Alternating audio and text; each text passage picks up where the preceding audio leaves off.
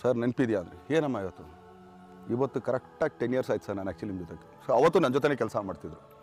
So ಅವತ್ತೊಂದು cake ತಂದು ಅವ್ರಿಗೆ cut ಮಾಡಿಸಿ. ಸೊ ಈ ಅದೊಂದು ಖುಷಿ ನಮಗೂ ಯಾಕಂದರೆ ಇವತ್ತಿನ ಪೀರಿಯಡಲ್ಲಿ ಒಂದು heroine actually ten years pass ಮಾಡೋದು ತುಂಬ ಕಷ್ಟ.